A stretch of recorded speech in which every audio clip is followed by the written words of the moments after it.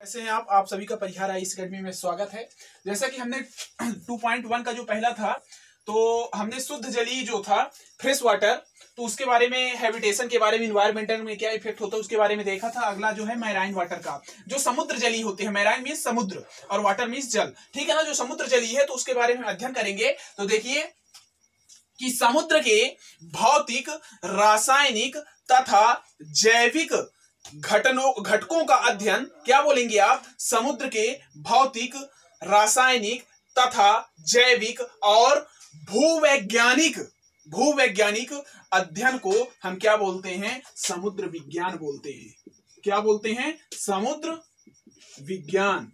उसी को हम ओशियनो, ओशियनोग्राफी, ओशियनो ग्राफी बोलते हैं, ठीक है ना? तो समुद्र, क्या बोलेंगे आप? समुद्र के भौतिक, रासायनिक तथा जैविक और भूवैज्ञानिक अध्ययन को हम समुद्र विज्ञान कहते हैं। और ये आप जान लीजिए कि अधिकतम जो जीव होते हैं, उनका निर्माण जल के ही अंतर्गत होता है। वो जल में ही अपना जीवन यापन करते हैं। तो ये सबसे बड़ा क्षेत्र होता है है ना? जहाँ पर जीव निवास करते हैं। तो आइए हम अब चलते हैं। देखिए कि सबसे पहले पाँच महासागरों का जैसे देखिए, क्या पाया जाता है? पाँच महासागर होते हैं टोटल हैं अपने यहाँ, जो है मतलब कितने महासागर हैं? पाँच महासागर अपने विश्व के अंतर्गत हैं। तो पहला नंबर, प्रशांत महासागर, जिसे बोलते हैं पेसिफिक ओशियन ठीक है ना? ध्यान दीजिएगा, जो पेसिफिक ओशियन होता है, ये सबसे विशालतम तथा सबसे पुराना महासागर है। ये कुल पृथ्वी के स्थल का, ये कुल पृथ्वी के स्थल का पैंतीस दशमलव दो पाँच परसेंट होता है। ठीक है? सेकंड नंबर आपका कौन सा महासागर है? प्रशांत महासागर। दूसरा नंबर एटलांटिक महासागर। ये एटलांटिक महासागर या इसे एटलांटिक ओशियन भी आप बोल सकते हैं। एटलांटिक ओशियन तो ये दूसरा सबसे बड़ा विशालतम महासागर है और ये पृथ्वी के कुल क्षेत्र का कितने परसेंट है? ये कुल पृथ्वी के कुल क्षेत्र का बीस दशमलव नौ प्रतिशत है। ठीक है ना? अगला देखिए, अगला जो महासागर है, वो अगला महासागर हिंद महासागर है। हिंद महासागर, जिसे इंडियन ओशियन बोलते हैं। क्या बोलेंगे? इंडियन ओशियन ये तीसरा सबसे बड़ा महासागर है, ठीक है ना? और ये जो है, पृथ्वी के कुल क्षेत्रफल का चौदह दशमलव छह पाँच प्रतिशत होता है। अब अगला, आर्कटिक महासागर, ध्यान देते चलिएगा। आर्कटिक महासागर। महासागर, आर्कटिक महासागर में आप क्या बोलेंगे? देखिए, ये उत्तरी ध्रुव पर स्थित है। आर्कटिक ओशियन ये कहाँ पर है? उत्तरी ध्रुव पर स्थित है और इसका कुल क्षेत्रफल तेरह लाख तेरह लाख किलोमीटर स्क्वायर है। ठीक है ना? ये उत्तरी ध्रुव पर स्थित है। और अगला नंबर जो पचमा है तो उसे आर्क, अंटार्कटिक अंटार्कटिक अंटार्कटिक महासागर। ठीक है ना? तो इसे क्या बोलेंगे? अंटार्कटिक ओशियन ठीक है ना? तो जो अपना ये अंटार्कटिक अंटार्कटिक ओशियन है तो अंटार अंटार्कटिक इसको आप कर लीजिए। अंटार्कटिक अंटार्कटिक ओशियन ठीक है ना? अंटार्कटिक जो ओशियन है अपना है ना? तो अंटार्कटिक ओशियन ये किसमें वो उत्तरी ध्रुव में स्थित था। ये कहाँ पे है? ये दक्षिणी ध्रुव में स्थित है। अब दक्षिणी ध्रुव में है, स्थित, और इसका कुल क्षेत्रफल कितना होता है? तो इसका कुल क्षेत्रफल आठ लाख, ठीक है ना? आठ लिखिए, इक्यासी लाख पैंसठ हज़ार इक्यासी लाख पैंसठ हज़ार किलोमीटर स्क्वायर। ठीक है ना? इक्यासी लाख पैंसठ हज़ार किलोमीटर इसका स्क्वायर इसका क्षेत्रफल है। आइए हम आपको समुद्र से संबंधित कुछ परिभाषाएँ बताते हैं। जैसे महासागर। महासागर हम किसे बोलते हैं? महासागर हम किसे कह सकते हैं? महा सागर। ध्यान देते चलिएगा, ठीक है ना? महासागर हम किसे बोलते हैं? जो ओशियन कहलाता है, इसे हम कहा बोलते हैं? महासागर हम किसे कहते हैं? तो ये खारे जल का सबसे बड़ा क्षेत्र होता है। ध्यान दीजिएगा, यह खारे जल का सबसे बड़ा क्षेत्र होता है। यह विशाल क्षेत्र है, जो पृथ्वी को चारों ओर से घेरे रखता है। उसे हम महासागर कहते हैं। यह विशालतम क्षेत्र है, और है ना, ये खारे जल का, कौन से जल का? खारे जल का, ठीक है ना? ये खारे जल का विशालतम क्षेत्र होता है, जो पृथ्वी को चारों ओर से क्या करता है? घेरे रखता है। ठीक है? अगला देखिए, समुद्र समुद्र समुद्र को हम क्या बोलेंगे?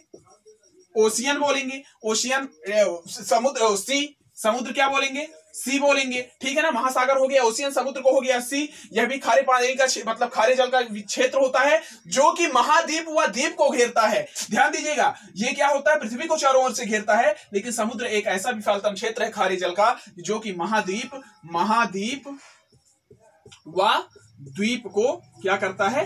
घेरता है। वो क्या कहलाएगा? समुद्र कहलाएगा। अगला देखिए, आप खाड़ी देखिए। खाड़ी किसे कहते हैं? खाड़ी, जिसे बे बोलते हैं। बी ए बाई बे, खाड़ी को क्या होता है? यह, वह विशालतम क्षेत्र है है ना? जिसका मुख मेन देखिएगा, खाड़ी का क्या होता है? इसका मुख। विशाल होता है। मुख जो है, विशाल होता है मतलब इसका जहाँ से प्रारंभिक होता है, स्थान जहाँ से इसमें प्रवेश द्वार होता है, वो काफ़ी बड़ा होता है। तो उसे हम क्या बोलते हैं? खाड़ी बोलते हैं और ज्वार नाद मुखी ज्वार नद मुखी है ना, जिसे हम इश्चुरी बोलते हैं। इश्चुरी तो ज्वार नद मुखी किसे कहते हैं? यह वह स्थान होता है जहाँ समुद्री जल, यह ज्वार नद मुखी किसे कहते हैं? जिसे, यह वह स्थान है जहाँ पर समुद्री जल किससे मिलता है? समुद्री जल नदी के जल से मिल जाता है। मतलब समुद्री जल कहा मिल जाता है? नदी के जल से मिल जाता है। नदी के जल से मिल जाता है और वहीं पर क्या हो जाता है? इस चूरी का निर्माण हो जाता है ज्वारनाथमुखी का निर्माण हो जाता है। ठीक है ना? अब देखिए, मैं आपको बता दूँ, समुद्र के खड़े क्षेत्र अनुसार अगर इसका विभाजन किया जाए, समुद्र के खड़े जो क्षेत्र अनुसार विभाजन किया जाए, है ना? समुद्र के खड़े क्षेत्रानुसार विभाजन। तो ध्यान रखिएगा, तीन क्षेत्र है। समुद्र के खड़े क्षेत्र अनुसार विभाजन में इसके तीन क्षेत्र हैं। टोटल कितने क्षेत्र? तीन क्षेत्र। ठीक है? तीन क्षेत्र। पहला नंबर प्रकाशी क्षेत्र। क्या लिखेंगे? पहला नंबर प्रकाशी क्षेत्र। इसे बोलेंगे euphotic or photic zone second number है अप्रकाशी अप्रकाशी क्षेत्र। इसे बोलेंगे अफोटिक जोन तीसरा नंबर बोलेंगे प्रतिकार क्षेत्र। प्रतिकार क्षेत्र। इसे बोलेंगे कंपेंसेशन कंपेंसेशन जोन ठीक है, ध्यान दीजिएगा। तो पहला क्षेत्र हो गया प्रकाशी क्षेत्र, दूसरा क्षेत्र हो गया प्रकाशी क्षेत्र, तीसरा हो गया प्रतिकार क्षेत्र। प्रकाशी क्षेत्र में क्या होगा? यहाँ पर प्रकाश आसानी से पहुँच जाएगा। ये समुद्र का, है ना, समुद्र स्थल का, ठीक है, ध्यान देते चलिएगा। पहला जो क्षेत्र आपका, मैंने प्रकाशी क्षेत्र बताया तो ये ऐसा क्षेत्र है जहाँ पर, है ना जहाँ पर क्या है, जो प्रकाश है है ना, सूर्य की किरणों का जो प्रकाश है, वो क्या सीधे इस पर पड़ जाएगा। तो ये क्या कहलाएगा? यूफोटिक जोन कहलाएगा। क्या कहलाएगा? Euphotic zone. अब ध्यान दीजिएगा, ये क्या हो गया? Euphotic zone. अब अप्रकाशी क्षेत्र, ये ऐसा स्थान होता है। क्या बोलेंगे?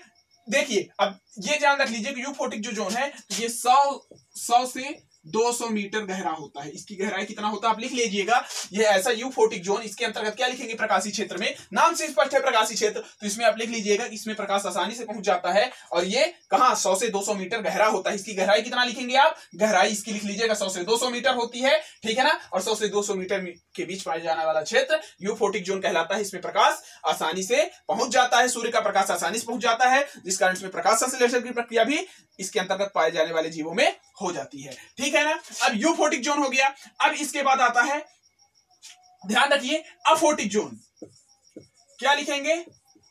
Aphotic zone. अब देखिए, यहाँ पर अफोटिक जोन, ये गहरा जोन होता है, गहरा क्षेत्र होता है। अफोटिक जोन मतलब अप्रकाशी क्षेत्र, यहाँ पर प्रकाश नहीं पाया जाता है, यहाँ पर रोशनी नहीं होती है, सूर्य की रोशनी किरणें नहीं आती हैं तो यहाँ अफोटिक जोन कहलाएगा ये। और यहाँ पर क्या होता है, यहाँ पर उत्पादक जीव नहीं पाए जाते हैं, यहाँ पर उत्पादक जीव मतलब जो उत्पादन करते हैं, है ना? क्योंकि प्रकाश संश्लेषण की प्रक्रिया भी नहीं होगी, है ना? फास्फोरिलेशन नहीं होगा फोटोफास्फोरिलेशन प्रकाश संश्लेषण की प्रक्रिया नहीं हुई तो उत्पादक जीव भी यहाँ नहीं पाए जाते हैं। उत्पादक जीव नहीं पाए जाते हैं। ठीक है ना? आप इसको मेन चीज़ ध्यान रखना है। अब प्रतिकारी क्षेत्र हो गया। अब अगला ये हो गया अफोटिक जोन अप्रकाशी क्षेत्र। अब तीसरा नंबर लिख लीजिए। प्रतिकार, है ना? प्रतिकार क्षेत्र। अब प्रतिकार क्षेत्र किसे बोलेंगे? कंपन कंपन सेशन जोन, ठीक है? कंपनसेशन जोन प्रतिकार क्षेत्र किस क्षेत्र को बोलेंगे? यह क्षेत्र प्रकाशी प्रकाशी तथा अप्रकाशी क्षेत्र के बीच आता है। प्रकाशी और अप्रकाशी जो क्षेत्र है, उसके बीच कौन सा क्षेत्र बन जाएगा? वो बन जाएगा प्रतिकार क्षेत्र। ध्यान रखिएगा, जो अफोटिक जोन है है ना?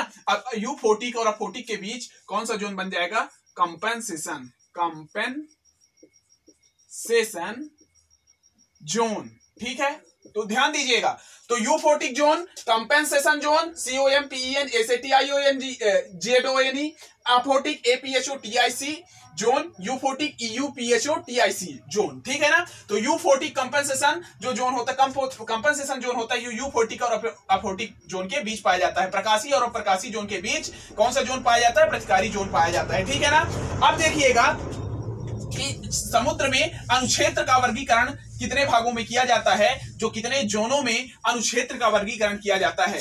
समुद्र में, लिखिएगा, समुद्र में अनुक्षेत्र का वर्गीकरण। तो इसको लिखिए, पहला नंबर, अंतर ज्वारीय या वेलांचली वेलांचली क्षेत्र। इसे क्या बोलेंगे? इंटर टाइडल और लिटोरल जोन देखिए, ये जोन जो होता है, ऊँचे ज्वार तथा नीचे ज्वार के मध्य पाया जाता है। कौन से अंतर ज्वारी जो जोन होता है? तो देखिए, ज्वार भाटा आप समझते हैं क्या होता है? ज्वार जैसे मान लीजिए ये समुद्र की सतह है, ठीक है ना? समुद्र की सतह है। यहाँ समुद्र का मेन लेवल है, ठीक है ना? यहाँ तक मतलब समुद्र में पानी, ये ज़ीरो है, इसका मान लीजिए, ये ज़ीरो वाला हिस्सा है, ठीक है ना? मतलब एकदम भरा हुआ, इतना मिनिमम इसका जो मतलब मैक्सिमम हिस्सा है कि इसके ना ऊपर होगा ये मेन एक लेवल तय करता है ये ज़ीरो पॉइंट ठीक है ना? अगर ऊपर हुआ तो डिस्टर्ब हो जाएगा, नीचे हुआ तो डिस्टर्ब हो जाएगा तो समझिएगा। जब देखिए, ज्वार भाटा आता क्यों है? सूर्य तथा चंद्रमा की गुरुत्वीय किरणें मतलब गुरुत्व के प्रभाव के कारण जो ग्रेविटेशनल फोर्स होता है सूर्य चंद्रमा का उसके कारण ज्वार भाटा आता है। तो ज्वार हम किसे बोलते हैं और भाटा किसे बोलते हैं? तो ये ध्यान रखिएगा, जब समुद्र का जल क्या हो जाता है, अपने स्तर से ऊपर उठ जाता है। अपने स्तर से, जैसे यहाँ से ऊपर उठ गया, तब हम इस स्थिति को ज्वार बोलते हैं। लेकिन जब समुद्र का जल अपने स्तर से नीचे की ओर हो जाता है ना, नीचे की ओर हो जाता है तो उसे हम बोलते हैं भाटा। ठीक है? आगे हम जो हमारी जियोग्राफी की कक्षा चल रही है, उसमें आप देख लीजिएगा वीडियो सब पढ़ाया जाएगा। ठीक है? तो अब देखिए कि अंतर ज्वारी वेलांचल क्षेत्र ये कहाँ पाया जाता है? ये ऊँचे तथा नीचे ज्वार के बीच होता है। यह स्थलीय तथा समुद्री क्षेत्रों के बीच पाया जाने वाला क्षेत्र होता है। ठीक है ना? स्थलीय तथा समुद्री समुद्री क्षेत्र के बीच पाया जाने वाला मेन वो होता है जोन अब देखिए सेकंड नंबर जो आप लिखेंगे, वो नेरेटिक क्षेत्र। सेकंड नंबर, नेरेटिक क्षेत्र, ठीक है? नेरेटिक नेरेटिक जोन, ठीक है? तो नेरेटिक जोन में क्या आ जाएगा? महाद्वीपी ढलान पर। महाद्वीपी ढलान, जैसे महाद्वीप का, जहाँ पर ढलान होगा। महाद्वीप पर महाद्वीपी ढलान का जो उथला क्षेत्र होता है, ये उथला वाला हिस्सा, है ना? महाद्वीपी ढलान का जो उथला हिस्सा होता है, उथले जल का यह क्षेत्र, महाद्वीपी ढलान का उथले जल का क्षेत्र, नेरेटिक क्षेत्र कहलाता है। ये 200 मीटर, यहाँ तक ये क्या कहलाएगा? नेरेटिक जो, ये नेरेटिक जोन के अंतर्गत आएगा। नेरे, नेरेटिक जोन। ये क्या? 200 मीटर। कहाँ तक ये? 200 मीटर तक का क्षेत्र होता है। इसका लेवल कितना है? 200 मीटर तक का क्षेत्र होता है। ठीक है ना? तो ये देखिएगा, यहाँ का जोन क्या कहलाएगा? ये नेरेटिक जोन कहलाएगा। ठीक है ना? ध्यान दीजिएगा। तो ये क्या होता है? महाद्वीपीय ढलान पर उथले उथले जल का यह क्षेत्र। महाद्वीपीय ढलान पर उथले जल का वह क्षेत्र, यह क्षेत्र 200 मीटर तक गहराई वाला होता है। आपको ये चीज़ ध्यान देना है। अब अगला देखिए, तीसरा नंबर देखिए, गंभीर क्षेत्र। तीसरा नंबर आप क्या देखेंगे? गंभीर क्षेत्र। गंभीर क्षेत्र। Bathyal, zone. अब देखिए, महाद्वीपीय ढलान जैसे यहाँ तक है, महाद्वीपीय ढलान यहाँ तक है तो महाद्वीपीय ढलान के 200 मीटर, देखिए 200 मीटर तक का क्षेत्र क्या हो गया? महाद्वीपीय ढलान के 200 मीटर तक का क्षेत्र क्या हो गया? नेरेटिक जोन था। लेकिन है ना, यहाँ तक का क्षेत्र नेरेटिक जोन था। लेकिन महाद्वीपीय ढलान के 200 मीटर से अधिक अधिक का क्षेत्र, जो 200 मीटर से भी, जैसे 200 मीटर तक का नेरेटिक हो गया। अब यहाँ से जितना अधिक क्षेत्र आएगा तो ये वाला क्षेत्र आपका कहलाएगा बैथल जोन बैथल जोन या इसी को आप कह सकते हैं गंभीर क्षेत्र कहते हैं। ठीक है ना? अब ध्यान दीजिएगा। अगला नंबर देखिएगा। वितल क्षेत्र, कौन सा? वितल क्षेत्र। एबी सेल जोन ठीक है? तो ये महाद्वीपीय ढलान, जहाँ तक महाद्वीपीय ढलान पाई जाती है, उसके बाद, मान लीजिए यहाँ तक महाद्वीपीय ढलान का इंड हो जाता है, और महाद्वीपीय ढलान के बाद का जो क्षेत्र होता है, वो कहलाता है वितल क्षेत्र। उसे हम बोलते हैं एबिसल जोन। ठीक है ना? तो यह महाद्वीपीय ढलान के बाद गहराई पर स्थित होने वाला क्षेत्र कहलाता है महाद्वीपीय ढलान के बाद। यहाँ तक जैसे था महाद्वीपीय ढलान तो महाद्वीपीय ढलान के बाद क्या? गहराई तक स्थित क्षेत्र जो होता है, गहराई पर स्थित, और यही क्षेत्र जो होता है समुद्र तल के समीप होता है। ये समुद्र तल के समीप पाए जाने वाला क्षेत्र होता है एप्सल जोन तो ठीक है ना? और इसकी गहराई ये मतलब कहाँ तक होता है? ये छह हज़ार मीटर से अधिक गहरा होता है। से अधिक गहरा।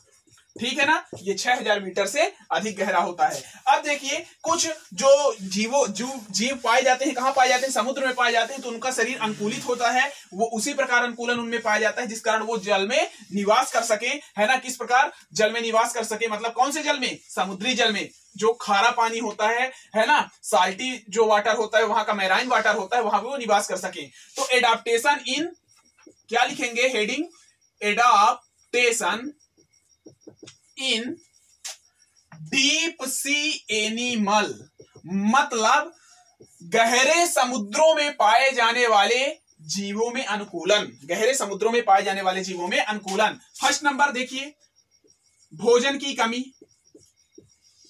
हेडिंग डालिएगा भोजन की कमी। अब देखिए, भोजन की कमी में आप क्या लिखिएगा कि भोजन की कमी, देखिए, समुद्री जीवों में, समुद्र में पाए जाने वाले जीव, उनको भोजन कैसे प्राप्त होगा? और वो क्या होते हैं, अधिकतम क्या होते हैं? कीट भक्षी होते हैं या परपोषी होते हैं, है ना? सबसे ज़्यादा तो वो कीटों का भक्षण करते हैं। ठीक है? कीट को क्या करते हैं? तो भोजन की कमी को दूर करने के लिए वो क्या करते हैं? कीटों का भक्षण कर लेते हैं। और कीटों का भक्षण करने के लिए, अब देखिए, क्योंकि जलीय जीवों का मेन मुख्यतः इसका मेरे बताने के इनमें क्या अनुकूलता पाई जाती है? भोजन की कमी होती है। भोजन की कमी के कारण सबसे प्रमुख इसमें यह लिखिएगा कि इनका शरीर छोटा होता है। ठीक है ना? भोजन की कमी के कारण, होने के कारण इनका शरीर कैसा होता है? छोटा होता है। ठीक है? उनमें यह अनुकूलता होगी, छोटे छोटे बहुत बड़े नहीं है। इसलिए आसानी से ये छोटे हैं तो जल में रह लेते हैं। और छोटे, जब छोटी शरीर ही होगी तो पाचन क्रिया भी छोटा, सब कुछ छोटा, है ना? सभी ऑर्गन इनका छोटा तो भोजन की कमी, पहला हेडिंग डालिएगा। दूसरा नंबर लिखिए, इनकी आकृति, या इनका फॉर्म या इसी को आप इनका सेप लिख सकते हैं। ठीक है ना? अब देखिए, इनकी जो देह होती है, आकृति में क्या लिखेंगे? जो इनकी देह होती है, वो अत्यधिक पतली होती है है ना? इनकी जो देह होती है, अत्यधिक पतली होती है। आपको मैं एग्ज़ाम्पल के तौर पर बता दूँ कि जो फ्लैट फ़िश होती है, जो फ्लैट फ़िश होती है, ठीक है ना? जो फ्लैट फ़िश होती है तो फ्लैट फ़िश का क्या होता है कि जो फ्लैट फ़िश होती है ना तो उसकी देह इतनी, उसकी देह इतनी दब जाती है, इतनी दब जाती है मतलब वो इतना चपटा हो जाता है कि उसकी दोनों आँख मतलब एक आँख के बराबर हो समझ रहे हैं हमारे कहने का मतलब? कि इतने चपटे हो गए कि जो साइड वाली दूसरी आँख भी होती है तो वो भी एकदम मिल जाती है पहली वाली आँख से। इतना चपट जाता है। जैसे ये वाली आँख, इससे इतना चपक जाए कि वो पहली आँख में क्या हो जाए? मिल जाए। है ना? तो फ्लैट फ़ीस ये अनुकूलन पाया जाता है फ्लैट फ़ीस जो वहाँ है। अब तीसरा नंबर आप लिख लीजिए, वर्ण। देखिए, समझिए, वर्ण वर्ण, इसी आप कलर है ना? वर्ण या कलर वर्ण में क्या होता है कि चूँकि, देखिए, समुद्री जली समुद्र में क्या होता है? प्रकाश तो गहरे समुद्र में प्रकाश पाया नहीं जाता है, प्रकाश नहीं पहुँच पाता है। तो इस कारण उनमें प्रकाश नहीं पहुँच पाने के कारण उनका जो रंग होता है, क्योंकि प्रकाश की कमी होती है, प्रकाश अपसेंट रहता है, प्रकाश अनुपस्थित रहता है तो उनका रंग लाल भी हो सकता है, उनका रंग भूरा भी हो सकता है, उनका रंग काला भी हो सकता है, उनका रंग बैगनी भी हो सकता है, और उनका रंग नीला भी हो सकता है। ठीक है ना? तो प्रकाश की कमी के कारण वहाँ रंग नहीं पहुँच पा मतलब प्रकाश नहीं पहुँच पाता, जिस कारण उनका रंग लाल, भूरा, काला, बैगनी, नीला भी हो सकता है। अब देखिए, इनमें बॉडी सपोर्ट के लिए क्या पाया जाता है? देह का सहारा, देह का सहारा, है ना? जो इनकी बॉडी होती है, देह मतलब बॉडी लिखिएगा, है ना? सपोर्ट ऑफ़ बॉडी सपोर्ट ठीक है? बॉडी सपोर्ट तो बॉडी जो सपोर्ट होता है तो देह का सहारा के लिए, जैसे देखिए, जो क्रस्टेशियन है, ठीक है ना? क्रस्टेशियन है, मोलस्का है मोलस्का है, इकाइनोडर्मा है, इकाइनो डर्मा है तो क्रस्टेशियन मोलस का इकाइनोडर्मा में ए, क्या होता है? लंबे उपांग पाए जाते हैं। क्रस्टेशियन मोलस का इकाइनोडर्मा, इन सभी में क्या होते हैं? उपांग जो पाए जाते हैं तो उपांग जो होते हैं, वो लंबे पाए जाते हैं। ठीक है ना? और पर्याप्त मात्रा में इसमें कांटे उपस्थित होते हैं। पर्याप्त कांटे पाए जाते हैं इनमें। ठीक है? और इसमें क्या होते हैं? इसमें कांटों के अलावा क्या होता है? कि खूंटे पाए जाते हैं, है ना? या इनमें खुरों का मतलब मुख्यतः नेल्स वगैरह पाए जाते हैं, जिससे ये पूर्णतः अनुकूलित रह सके। ठीक है? अब देखिए, अगला नंबर एक उदाहरण लिख लीजिए, पांचवा नंबर। इनमें अनुकूलन का क्षेत्र लिख लीजिए, भोजन एवं पोषण। भोजन एवं पोषण। Food and feeding food and feeding भोजन एवं पोषण। अब ये समझिए कि मैं इसमें बता दूँ कि भोजन उनको क्या पर्याप्त मात्रा मिल पाता है? समुद्री जली जीवों में। अब देखिए, उनको तो ये प्रकाश संश्लेषण वाला, पौधे वाला तो भोजन पर्याप्त मात्रा में पा नहीं पाएँगे। तो क्या होते हैं? वो कीट भक्षी होते हैं, वो कीटों का भक्षण करते हैं। तो इनका शरीर अत्यधिक इसीलिए मज़बूत होता है है ना? इनकी जो हड्डियाँ होती हैं तो हड्डियाँ काफ़ी मज़बूत होती हैं। हड्डियाँ मज़बूत होती हैं। ठीक है? इनके शरीर नुकीला भी होता है, शरीर नुकीला भी होता है, जिस कारण ये अधिकतर कीट भक्षी होते हैं, जिससे वो अपने शत्रुओं को या अपने भोजन को, अपने शिकार को ये आसानी से काट फाड़ के खा सके। ठीक है ना? तो इस प्रकार आप इसमें लिख लीजिएगा adaptation in deep sea animal मतलब जो गहरे समुद्री जीव होते हैं, उनमें अनुकूलन किस प्रकार का होता है? इस प्रकार आप मैराइन वाटर का आप भाग लिख दीजिएगा, ये सबसे अधिक भाग पाया जाता है। ठीक है ना? तो आपको यह वीडियो कैसे लगी? जैसा भी लगा हो लाइक सब्सक्राइब शेयर करिए और इसे ज़्यादा से ज़्यादा बढ़ाइए। धन्यवाद।